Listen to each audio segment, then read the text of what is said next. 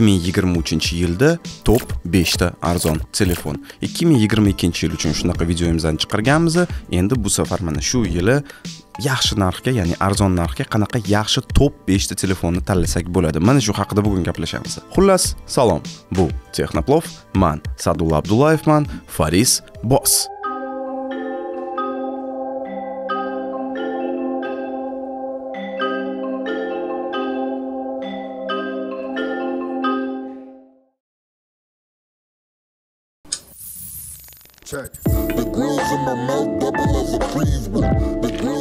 Xullas bizda 5 o'rinda bugun dadadadam Honor X8A. Qutisi negadir hech nima yozilmagan qutisida, balki test holatidagi telefon berilgani uchundir. Kovlab kovlab har xil joylardan topganmiz. Ko'rinishi mana bunday.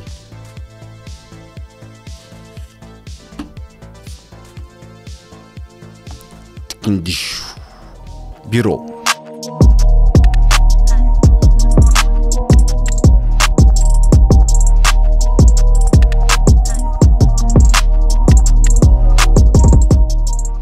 qo'limdagi modelda 6 GB RAM xotira va 128 GB doimiy xotira. Undan tashqari 6.7 dyuymlik IPS ekran va unda 90 gertsi bor. 90 gerts nima deganini bilasizlar? Ko'p marta aytganman bu telefon 2023 yilning fevral oyida xitoy kompaniyasi honor tarafdan chiqarilgan. Ya'ni ahamiyat beringlar shu yilgi telefon shu yilgi model. Bu yerda asosiy kamerasi 100 megapiksel ultra keng kamerasi 8 megapiksel va makro syomka uchun kamerasi 2 megapiksel. Undan tashqari agarda selfi qiladigan bo'lsangiz 16 megapiksellik frontal kamerasi bor. Rasmlarning va videolarning sifati haqida sal keyinroq aytaman. Hozircha protsessor haqida gaplashsak bu yerda mediatek helio g88 sakkiz hmm, такой. Ushbu smartfonni test qilmoqchi bo'lganimizda trotling va geekbench kabi testlarni u shunchaki qo'llab quvvatlamadi qo'llab quvvatlamadimi xullas ishlamadi. Ichida mana shu testlar va shu deb biz hech qanaqa test natijalarini ola olmadik bu yerdan va undan tashqari o'yinlarni ham sinayotganimizda qotishlar qizishlar mavjud. Ja komfort darajada o'ynay olmaysiz. Masalan genshin impact o'yinida telefon yaxshigina qizib ketdi va qotishni boshladi. Endi narxini eshitganingizda ha mayli bo'laverar ekan. Bo'lib turadi unaqa narxli telefonlarda deysizlar. Batareyasiga keladigan bo'lsak 5000 milliamper va 22 5 vatlik quvvatlagichi bor bu yerda. Butun kun chidab beradi lekin. Ya'ni telefonni o'ynamasdan qizitmasdan shunchaki oddiy telefon ko'rinishida ya'ni aloqa uchun ishlatib yursangiz yoki masalan rasm olish va youtubeda o'tirish uchun texnoplov videolarni ko'rish uchun ishlatsangiz bir kunga bemalol yetib beradi undan tashqari yon tarafda barmoq izi skaneri bor va ikkita sim karta qo'ysangiz bo'ladi aytgancha out of topic yangilik yaqinda mobil operatorlarni qullikligidan e, qutulishimiz mumkin bo'ladi. Chunki masalan telefon raqamingizni e, umsni umsda ochgan bo'lsangiz e, uslga o'tmoqchi bo'lsangiz shu nomer bilan birgalikda buni endi amalga oshirsangiz bo'ladi. Yaqinda mana shu loyiha amalga oshirilyapti eshitishim bo'yicha. Kamchiliklari afsuski ko'p. Bu yerda masalan mono karnayi ya'ni kolonkalari uncha yaxshi ovoz chiqarmayapti. Undan tashqari ba'zi bir ilovalar va o'yinlarda aytganimizdek ancha muncha muammo bo'ldi va mm, xullas bu asosan ozgina rasmga olish va internetda o'tirish va aloqa uchun telefon desak bo'ladi. Lekin masalan oddiyroq o'yinlarni o'ynasanglar там clash of clans va har xil tetrisga o'xshagan bir xil narsachalarni yig'ish kerak bo'lgan puzzleli o'yinlarni o'ynasanglar muammo bo'lmaydi. Biz shunchaki hozir og'ir o'yinlar haqida gapiryapmiz. Pubg yoki genshin impact haqida. Albatta lekin telefonda xotirani kengaytirish uchun micro sd uchun in bor. Chunki bir yuz yigirma sakkiz gigabayt endi bilasizlar uncha ko'pga yetmaydi. Kamerasi ham afsuski ja uncha zo'r emas. Faqatgina отчет uchun narsalar olish uchun bo'laveradi chunki mana masalan video olayotgan paytimda fokus bir necha marta qochib ketdi va asabingizni asrash uchun ja video syomka qilaman deb bu telefonni olmang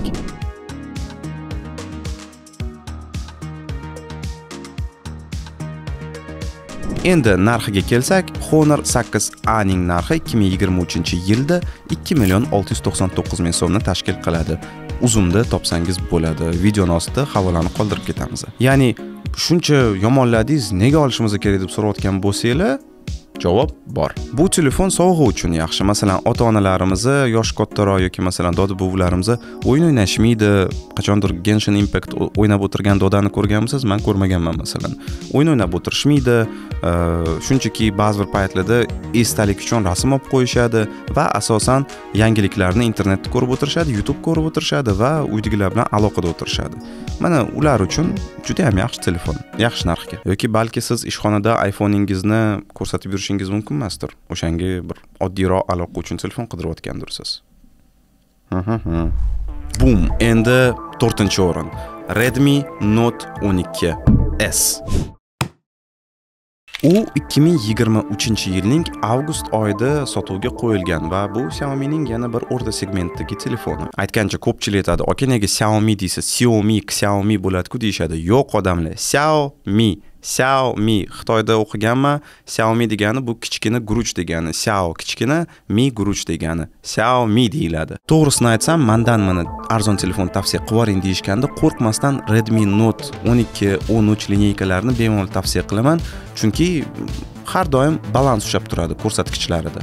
Ya'ni bu tarafi ja zo'r masalan kamerasi ja zo'r emas lekin yaxshi protsessori ja zo'r emas lekin yaxshi. Bundoq o'zini ushlab turadigan stabilniy telefon. Smartfon yuqorida aytilgan honor x8a bilan o'xshashlarga ega ammo katta farqlari ham bor. Tak ochamiz.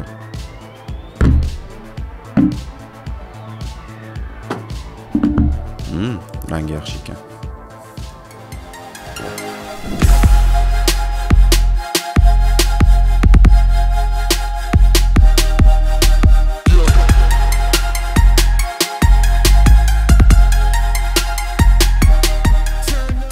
Qutisining ichida aytgancha 33 vattlik quvvatlagich kabel chexol bor va sim kartani chiqarish uchun nina ham mavjud. Honorni qutisida ham bu narsalar bor aytish esimdan chiqibdi shunchaki. Honordan farqli ravishda redmi note 12 sda amoled displey o'rnatilgan va u 643 dyuym va bu ham 90 gerts yangilanish tezligiga ega. Asosiy kamerasi 108 megapiksel frontal kamerasi bu yerda ham 16 megapiksel. Mana ekraningizda natijalarini ko'rishingiz mumkin. Aytganimday o'z narxi uchun juda ham yomon emas. Narxini haliroq aytaman smartfonga 8 gigabayt ram xotira va 256 gigabayt doimiy xotira o'rnatilgan. Mana shu qo'limdagi modelda va protsessori mediatek helio g96 honorga qaraganda balandroq. Qutisini ichida ko'rsatganimdek bu yerda 33 vattlik quvvatlagich bor 5000 mAh batareya. Kunni oxirigacha yetadi.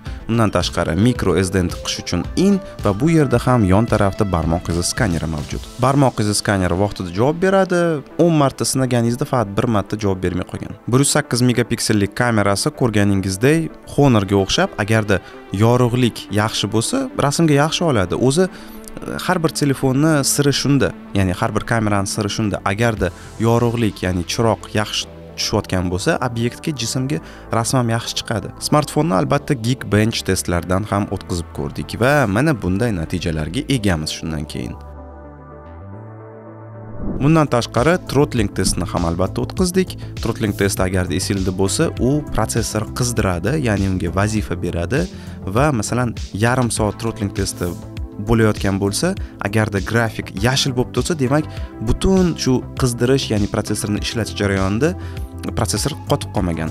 Agarda mundoq grafik tushib ketishni boshlasa ya'ni sariq yoki qizil joylar bo'lsa demak o'sha joylarda trotling bo'lib qoladi. Ya'ni protsessor qotib qolib o'zini sovutish uchun to'xtatadi va yana o'ziga kelishni boshlaydi. Va qo'shimcha sifatda 3d mark testni ham bu yerda o'tkazdik. U ham barcha funksiyalarni ishlatib ko'rib protsessorni qizdirib telefonni natijalarini chiqarib olgani harakat qiladi. Ya'ni samaradorligini o'lchab beradi. Redmi note 12s mana shu testda 91.8 foiz stabillik ya'ni barqarorlikni ko'rsatdi va 1158 ball yig'di. Solishtirib ko'rishingiz uchun iphone 12 pro maxda mana shu ko'rsatkich 8000 ballgacha yetadi. Test o'tkazayotgan paytimizda o'zi telefonni quvvati 43 foizdan 38 foizgacha tushdi va shu bilan birgalikda uning harorati 34 gradusgacha ko'tarildi. Ammo o'yin o'ynayotgan paytimizda hech qanday qizishlar va muammolarga duch kelmadik.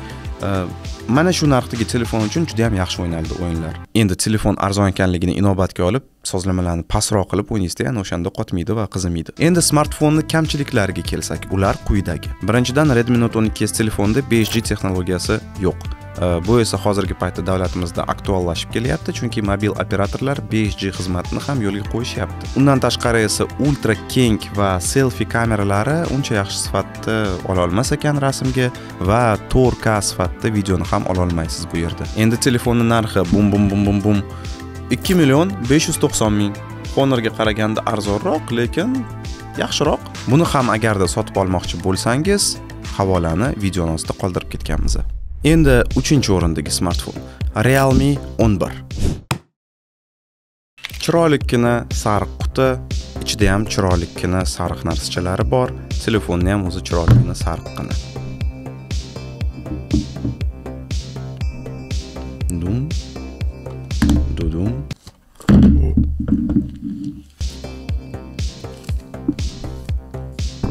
Dudum.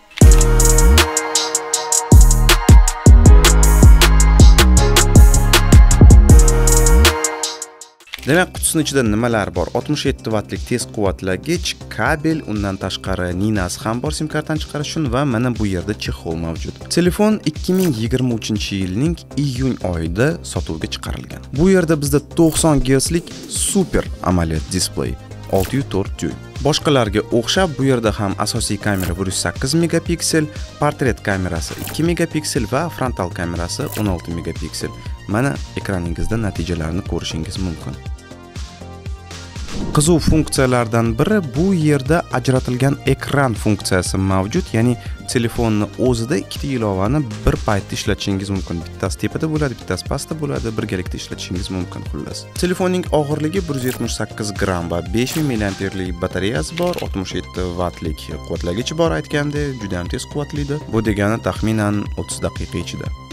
100 gacha noldan. Protsessori bu yerda mediatek helio g99 va 8 gigabayt operativ xotira va 256 gigabayt doimiy xotira. Albatta geekbench testi mana ekraningizda ko'rib turibsizlar va undan tashqari throttling testida u yaxshi natijani ko'rsatdi. Yuqori deganim u 99,7% stabillikni ko'rsatdi trotling testida va 1370 ballni yig'di. Batareyani ushiydi ushiydi duosiz qanaqa ushiydi deb so'raydigan bo'lsangiz mana masalan testlarni o'tkazayotgan paytimizda bu yerda batareyka 8% deydi. Test o'tib bo'lgandan keyin ham sakkiz foizda turgandi. Va telefonni harorati ham o'zgarmadi ya'ni qizib bermadi. Bu degani o'yin o'ynayotgan paytimda ham smartfon qanaqadir qizishlar yoki qotishlarni ko'rsatmadi bizga komfort bilan o'ynadi. Endi kamchiliklarga to'xtalsak. Asosiy kamerasida ultra keng yoki telefoto rejimlari mavjud emas. Shuning uchun e, oldin aytib qo'yaman olgan rasmlaringizga ko'nglingiz uncha to'lmasligi to'lmasligi mumkin. E, lekin kimga qanaqa? Video olish ham juda uncha zo'r emas lekin hmm, bo'veradi mana ko'rsatib qo'yganman sizlarga mana bu e, bir ming sakson ya'ni full hd sifatda olayotgan video sifati ammo darrov aytaman fpsni ko'rsatib turmayapti mani qanaqa eshityapsizlar bilmayman videoda ko'ramiz va undan tashqari mana kamerani ishlatayotgan paytingizda rostdan bu telefonda asosiy kamerasi bir yuz sakkiz megapikselmikan deb o'zingizga savol berasiz xullas selfi kameraga ham asosiy kameraga ham uncha qoniqmadim chunki buni narxi qimmatroq boshqa telefonlarga qaraganda bu videodagi shuning uchun tanqidim ko'proq ya'ni tanqid darajasi balandroq bu telefonga. Xullas narxi uch million to'qqiz yuz yetmish olti ming so'm. Balki siz tekshirgan paytingizda narxlar o'zgarib qolgan bo'lishi mumkin o'shangacha e, qattiq bo'lmanglar bizga nisbatan. Agarda realme o'n birni sotib olmoqchi bo'lsangiz havolani qoldirib ketganmiz. Ha aytgancha video foydali bo'lgan bo'lsa o'zi bizani qo'llab quvvatlamoqchi bo'lsanglar sizlarni eng katta yordaminglar agarda videoga layk bosib qo'ysanglar bitta fikringlarni izohinglarni videoni ostida qoldirib ketsanglar va o'zi kanalimizga obuna bo'lib qo'ysanglar edi. Mana shu bizga juda yam katta foyda bo'ladi va mehnatimizga minnatdorchilik bildirgan bo'lardinglar.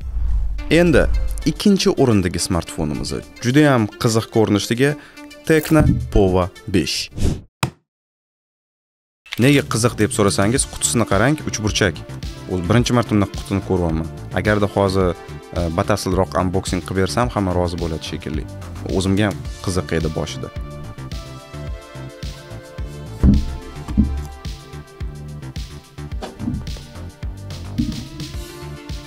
Mana bunday ochiladi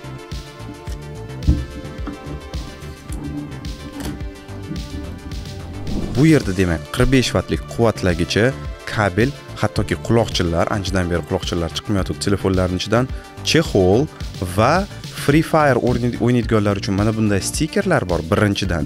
Ikkinchidan free fire o'ynaydiganlar uchun mana bunday gift kod ham mavjud ichida.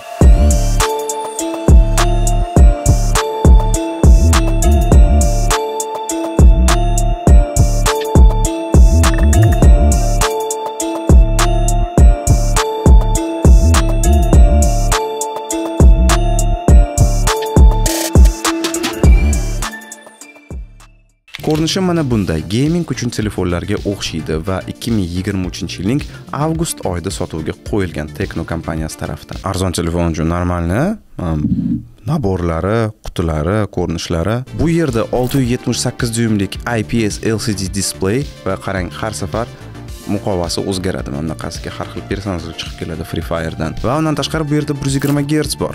Ya'ni juda ham silliq qimillaydi hamma elementlar. Bu yerda asosiy kamerasi 50 megapiksel va unga sun'iy intellekt o'rnatilgan ya'ni rasmlarni sun'iy intellekt yordamida yaxshilatib beradi. Frontal kamerasi esa 8 megapiksel va vspышка bilan birgalikda ishlaydi. Rasmlar mana bunday.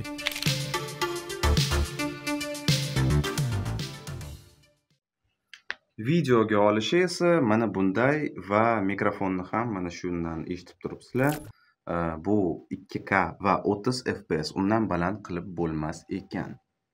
Doqimlayman xullas mana shunaqa. Ichida 8 gigabayt operativ xotira 256 gigabayt doimiy xotira va protsessori mediatek helio g99 6 nanometrlik. Hmm, hmm? 6000 milliamperlik batareyasi bor bu yerda ya'ni boshqalarga qaraganda ko'proq demak ko'proq vaqtga yetadi va 45 vatlik tez quvvatlagichi smart charge uni batareyangizni charchatib qo'ymagani harakat qiladi. Barmoq izi skaneri yon tomonda o'rnatilgan micro sd uchun bu yerda ham in bor va ikkita sim karta uchun joy bor. Smartfon 5g texnologiyasini qo'llab quvvatlaydi va tez ishlaydi. Undan tashqari 8 gigabayt operativ ram xotirasini siz mem fusion funksiyasi yordamida ko'paytirishingiz mumkin sun'iy ko'rinishda va ana shunda sizda 13 gigabayt ram xotira bo'lib qoladi. Ha to'xtanglar hozir o'zida o'sha sozlamalarni boshidan qarasam biz ko'rmay qolamiz. Sakkizga yana sakkiz gigabayt qo'shishingiz mumkin ekan ya'ni 16 gigabayt ram qilishingiz mumkin ekan bu telefonni. Albatta geekbench testlarida mana shu narsalarni inobatga olganda testlar yaxshiroq chiqdi yaxshiroq natijani ko'rsatishdi va mana ekraningizda ularni ko'rib turibsiz. Tecno Power 5 throttling testida 9708 foiz stabillikni ko'rsatib 1259 ball yig'di. O'yin o'ynash davomida to'g'ri topganingizdek qotishlar bo'lmadi, e, qizishlar bo'lmadi va telefon 31 gradus Selsiygacha yetib bordi harorati. Kamchiliklarga keladigan bo'lsak, kamdan kam uchraydigan holat hozir qofiyalar, ya'ni qoshlari qalingina, kattagina bu telefonda dizaynda uncha yaxshi ko'rinmaydi bu narsa. Va undan tashqari boshqa telefonlarga qaraganda g'ilofsiz ham ya'ni chexolsiz ham mm, og'irgina. Undan tashqari esa selfi kamerasini sifati juda uncha yaxshi emas. Ultra keng kamerasi yo'q. Ehm, atigi 2 da videoga oladi. Va undan tashqari bu yerda displey AMOLED emas. Ushbu smartfon hamyonbop. Mana ikkinchi o'rinda turibdi va narxi rostdan ham hamyonbop. 2 million to'rt yuz to'qson to'qqiz ming so'm. Bunaqa samaradorlik uchun judayam yaxshi. Bunday batareya uchun va quvvatlagich uchun judayam yaxshi. Dizaynga ham alohida baho. Agarda uni sotib olmoqchi bo'lsangiz bunga ham havolani videoni ostida qoldirib ketganmiz. Endi 2023 yilda top 5 ta arzon telefonlar orasida texnoplov fikri bo'yicha top birinchi o'rinni olgan telefon. O'zim kutmagandim lekin rostdan ham shunaqa bo'lib qoldi. Tekno camon 20 pro.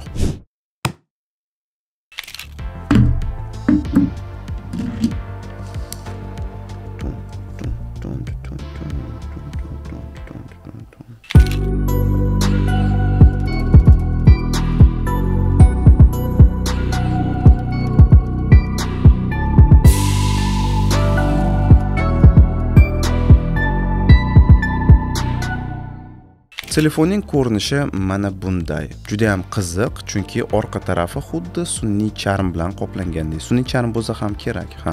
Qutisining ichida chexol mana bunda yana mini qutini ichida kabel bilan quloqchinlar mavjud va mana bunday kichkina quvvatlagich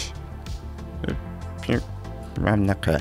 O'n sakkiz vatt bu tekno uyalmaysizlarmi? Qanaqa qilib birinchi o'rindagi telefonda mana shunday jijini quvvatlagich bo'lishi mumkin deb so'rashingiz mumkin? Man ham hayronman lekin boshqa xususiyatlari mana shuni kompensatsiya qilib yuborgan desak bo'ladi. Aytganimdek dizayni juda yam yoqdi va telefon yengil chetlari ham mana bunday ko'k alyumindan yasalgan lekin ba'zi bir paytlarda qirilishni boshlaydimi deb o'ylayman vaqt o'tib. Ekrani bir yuz yigirma gerts amoled 667 dyuym asosiy kamerasi 64 megapiksel va night portrait ya'ni kechki paytda portretlar olish qobiliyatiga ega. Undan tashqari esa selfie kamerasi 32 megapiksel. Videoga esa 2k va 30 fps oladi. Eshitishim mana bunday eshitilishim ya'ni va mana qimirlashlar mana bunaqa natijalar ekraningizda qorong'ida portret ham olib ko'rdim va ana ushbu payt xonani ichida juda kam chiroq bor edi. 256 gigabayt doimiy xotira va 8 gigabayt ram xotira va ana shu ram xotirasini bu yerda yana 8 gigabaytgacha sun'iy ko'rinishda ko'paytirishingiz mumkin. Protsessori yaxshi telefonlarda yaxshi arzon telefonlarda mediatek helio g99 albatta. 6 nanometrlik va shu deb o'yinlar. Qotmayapti qizimayapti telefon. Yaxshi ishlayapti xullas. Batareyasi 5000 milliamper va ana o'sha kichkina quvvatlagich orqali kichkina bo'lishiga qaramay bir soatdan kamroq vaqt ichida noldan yuzgacha to'ladi. E endi bu degani siz shunchaki boshqa kattaroq yaxshiroq quvvatlagichni sotib olib e, tez quvvatlashni ishlatishingiz mumkin. Ya'ni tez quvvatlashni bu qo'llab quvvatlaydi. Faqat mana bu quvvatlagichi bilan emas. Geekbench testlari mana bunday. Trotling testlari mana bunday. Lekin mana o'yin o'ynash paytida qizimaydi dedimku aslida 34 gradusgacha telefon ko'tarildi harorati balki men u paytda ko'zim qo'lim bilan sezmagandirman o'sha payt juda ham ko'p qizib ketgan telefonlarni ushlaganim uchun e, xullas 34 gradusni ko'rsatdi lekin. Lekin qotmadi. Kamchiliklari o'tgan telefondagi ultra keng kamerasi yo'q televik yo'q va ikkinchi o'rindagi teknopo 5 ga o'xshab Camon 20 Pro ham 2K sifatida oldi o'zinglar ko'rdinglar umumiy qilib aytadigan bo'lsak bu telefon dizaynga bog'liq bo'lgan odamlar uchun yaxshi samaradorligi yaxshi ya'ni o'yinlarni bemalol o'ynaysiz lekin shu o'tgan safardagi ukasiga o'xshab bu te, e, foto kamera emas foto telefon emas o'yinlar uchun va dizayn uchun. Ha hamda ekrani ham yaxshi shuning uchun bemalol internetni surfing qilib yursangiz bo'ladi. Narxi 2 million to'qqiz yuz to'qson bir ming so'm. Aytganimdek o'zgarib qolishi mumkin. Shuning uchun e, e'tibor beringlar shu narsaga. Videoni tagida havolani qoldirib ketganmiz sotib olish uchun. Shunaqa gaplar texnoshpazlar. 2023 yilning top 5 ta arzon telefonlar haqida sizlarga aytib berdim. Izohlaringlarni qoldiringlar. Nima nima deb o'ylaysizlar? E, Rozimisizlar mana shu telefonlarni tanlaganim uchun rozi emasmisizlar balki sizlarda boshqa qanaqadir variant bordir. Hammasini izohlarda yozib ketsanglar bo'ladi. Siz esa texnoplov kanalida edingiz layk bosinglar obuna bo'linglar. Keyingi videolarda ko'rishguncha xayr. Backstage! Зьет, yordamlashasiz. Не на лицо. Да, постараемся. Чё? To'g'ri, не на лицо, чувак. Mundoq, mundoq otamiz-da. Bля. Otma bilan. va undan tashqari 6.7 dyuymlik IPS ekran va u yerda 90 gertslik yangilanish Давайте Каждый неудачный кадр это юмор. Да, теперь bu telefon sovg'a uchun yaxshi. Masalan e, ota onamizni yoki так здесь перебивка потому что следующий телефон идет. Там вот эта огромная молния же проходит ее вставишь. To'g'risini aytsam to'g'risini aytsam mandan mana qaysi arzon ding ding ding ding ding ding yangilanish tezligi qani oltmish gersga qo'yib qo'yishgan ekan to'qson gersda turishi kerak din din din din din din din din din din. Va um undan tashqari mikro sd uchun in va ikkita sim karta bu yerda adashmasam bu yerda 678 dyuymlik lcd ip ips lcd bu yerda 678 dyuymlik lcd asosiy kamerasi rostdan ham 108 megapiksel megapikselmikin deb o'zingizga javob berasiz savol berasiz kamerasi asosiy kamerasi